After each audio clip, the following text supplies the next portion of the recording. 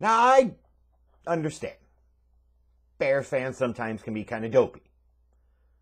But I can say that generally speaking, there is almost unanimous alignment with a couple of things pertaining to this Bears organization. Number one is that Matt Nagy has to go. I think it is extremely, extremely rare to find a Bears fan that's going to defend Matt Nagy at this point.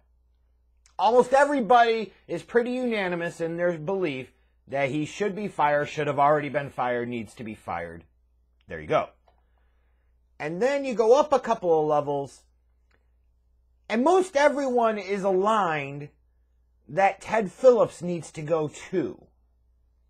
They understand two plus decades at the head of football operations, and it's been a mediocre to shit show consistently.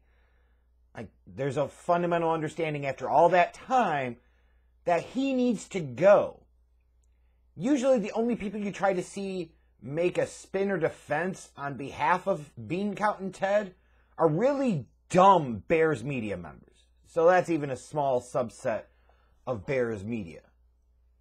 So most Bears fans can align on Matt Nagy should be fired, and that Ted Phillips, at the very worst, at the very least, I should say, should be reassigned in the organization. At most, should be completely fired. There has to be some type of accountability for the lack of performance. But then we kind of come in the shit sandwich in the middle. And you have a large number of Bears fans that, for some particular reason, defend Ryan Pace, make excuses for Ryan Pace, try to justify Ryan Pace in any way like they're the goddamn crypt keeper, Virginia McCaskey, and they have this massive man woman crush on fucking Ryan Pace. And it makes no sense. Bears fans, you've got to stop defending Ryan Pace. Just stop it. You don't have any legs to stand for on. There's nothing to really support your arguments. And all you're doing is being a part of the problem of contributing to the cycle of the me- mediocrity of the McCaskey way in Halas Hall. Give it a rest.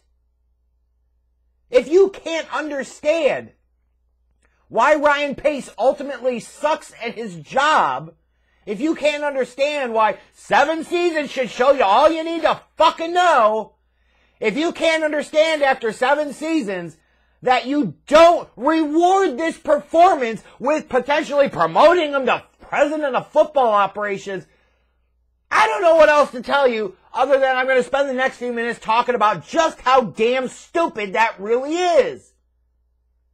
And there are no counters. There is no this. There is no that.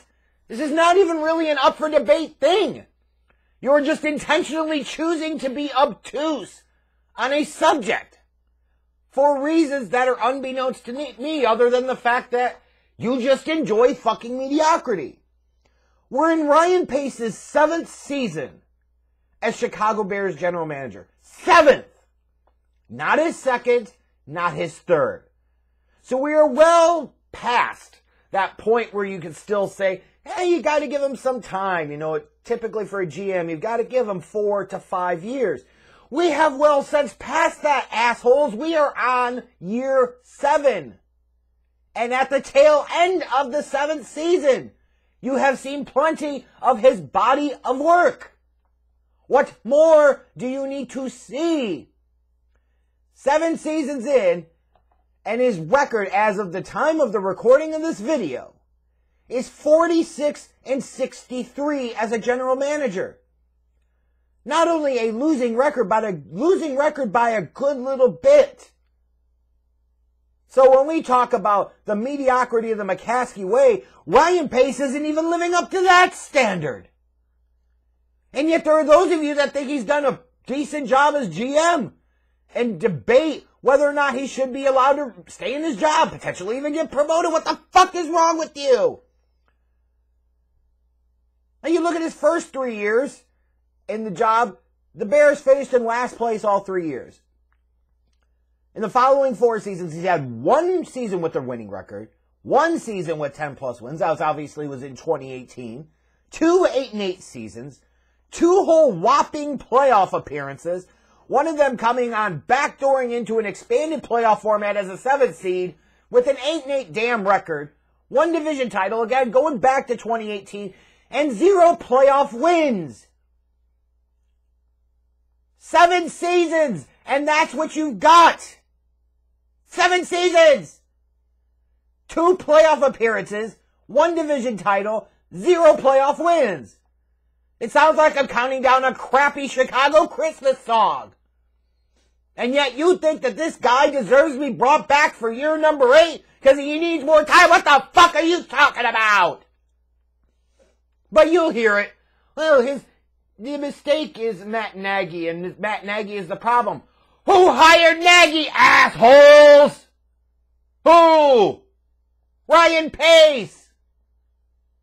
He created his own goddamn problem. You can't let him skate off with that because that was one of the most important decisions he could make. We can kind of excuse the John Fox crap because that was him coming in as a young GM, willing to appease Phillips and McCaskey because they brought in dumb Dick Accorsi to advise him his boy John Fox should be the head coach.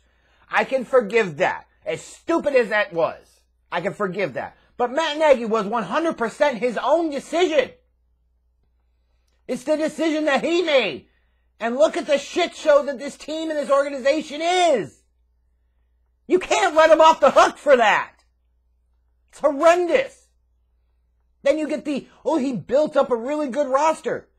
46 and 63 in his seventh season as GM indicates he doesn't build good rosters, you idiots. He doesn't even have a 500 record.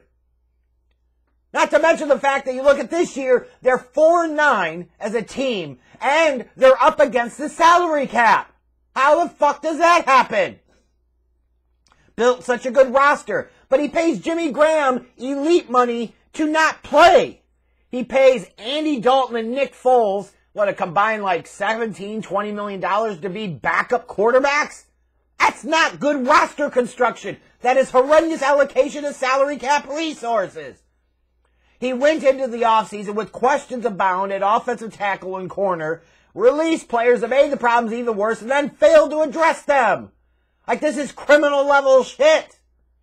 And this whole notion of, well, he's this great drafter. Just because you connect on some of your picks later in drafts might point to being a good scout. But as far as a general manager, this is the asshole that panicked, traded up from three to two to take Trubisky when nobody else with a brain fucking would have. Then follow that up with drafting Adam Shaheen in round two. His results in the draft are not that great. Stop it. Kevin White was unfortunate, but it's a result business at the end of the day. That was a bust. Leonard Floyd has been better in Los Angeles than he ever was in Chicago. That's a reflection on Ryan Pace and the coaching. Everybody deserves accountability there. So your first round picks for 2015, 2016, 2017 are no longer in the fold. You then sunk two first round picks from the 2019 and 2020 draft as part of the 2018 trade for Khalil Mack because you built your fucking roster wrong. Instead of trying to get a top flight offense, you tried to go the top flight defense route and ding dong dumb dicks, big surprise, it didn't fucking work out. And you've got what, one truly great Khalil Mack season out of four? It's not exactly been a great move. Stop pretending like it is. And again, I come back to the fact, for all of you that hate Matt Nagy so goddamn much, who's the one that hired him? He built a good roster. His goddamn team is 4 and 9. No, he didn't build a really good roster. He built a 4 and 9 team this year that's also up against the salary cap. Who fucking does that and then turns around and get praised by a fan base? And defended by a fan base? Swear to God, only dumbass, dumb dick Bears fans would do this shit. And I continue to have to use this as a minimum standard here. Because if you can't understand the difference, I don't know what the hell is wrong with you. Let's compare Ryan Pace's first seven seasons to Jerry Angelo's. Most of you don't like Jerry Angelo, as you shouldn't. At the end of the day, he got way too long for way too little results. But Jerry Angelo between 2001 and 2007, remember he was brought in after the 2001 draft, because that's just how badly, poorly run the Bears organization has been for decades. Thanks a lot for that one, Ted Phillips. Ah, we're going to get rid of Mark Hatley, but we'll still let him run the draft that year. What a fucking clown show. Jerry Angelo, his first seven season though, as Chicago Bears general manager, they were three-time division winners, two playoff wins, one NFC championship, even though, of course, they screwed up and didn't originally get his guy in that 2004 winners season with Nick Saban because they lowball him because that's what the Bears do. The second choice ended up being Lovie Smith, and that certainly worked out well. Certainly was a hell of a lot better of a hire for Jerry Angelo than goddamn Matt Nagy was for Ryan Pace. So Angelo, one more division titles, one more games, 60 and 52 through seven seasons. He had a winning record. Ryan Pace hasn't even finished his seventh one, and he's guaranteed himself an ass losing record. Ryan Pace isn't even up to the standard of Jerry Angelo. This is not up for debate. This is not your opinion. It doesn't matter. The facts matter. And the facts clearly indicate when you look at the results that Ryan Pace isn't even sniffing Ayatollah Angelo's turban, let alone his jock or his ass. Angelo had three seasons with a winning record. Three seasons with 11 plus wins. Pace has one of each. And he screwed up his head coach hire. And frankly, what's impressive about Angelo and the way he built a team, he built a better, even more dominant defense. And he fucked up even worse at quarterback. See, sexy Rexy.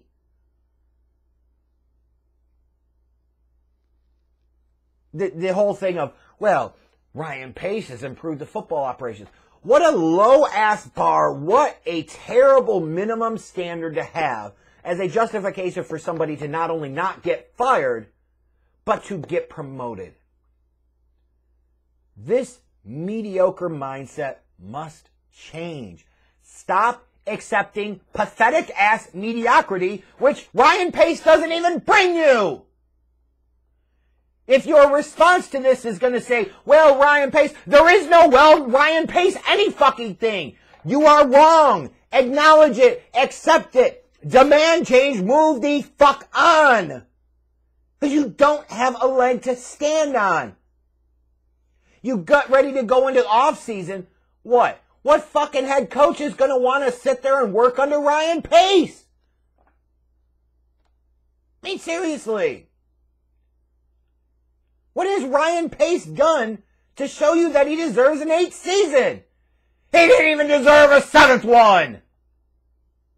And the fact that he got this year to show yet again that he's over his head and not equipped for the job and bad at his job makes me fucking pissed off and sick to my stomach. And that's what it should do for all Bears fans. Aren't you tired of being a joke? Aren't you tired of being mediocre? Aren't you tired of being irrelevant as a fan base and an organization?